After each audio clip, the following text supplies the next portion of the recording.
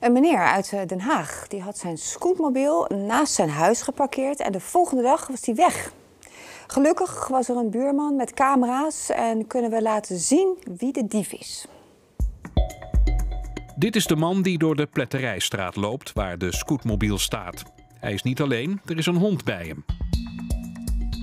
Hij loopt verder, maar is even later weer terug. Hij kijkt wat naar de spullen die naast de afvalcontainer staan en gaat dan richting de scootmobiel.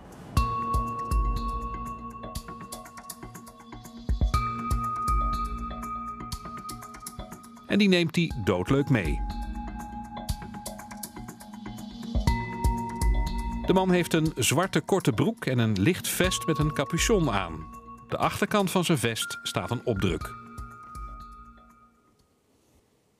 Hilda, die man die loopt die scootmobiel als het ware weg. Hè? Maar hoe krijgt hij hem dan rijdend?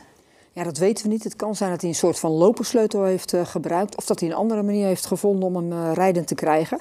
Het kan ook zijn dat hij hem direct heeft doorverkocht. Dus uh, als er mensen zijn aan wie een scootmobiel zonder sleutel is aangeboden, dan horen we dat heel graag. Ja, nou die man die heeft een hond bij zich. Hè. Dat hebben we kunnen zien. Misschien zegt de combinatie mensen wel iets, die hond en die man.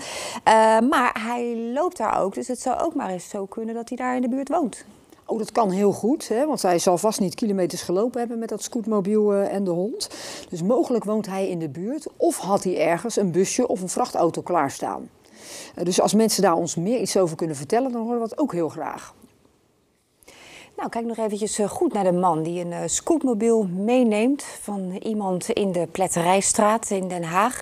Ja, en dan vooral een combinatie hè, met die hond. Wie is dat? Waar verblijft hij? Ook andere informatie over de diefstal van de scootmobiel is welkom. Hoe krijg je hem aan, bijvoorbeeld zonder sleutel? Of is er u misschien een te koop aangeboden? Nou, laat van u horen via 0800 6070 of bel anoniem via 0800 7000.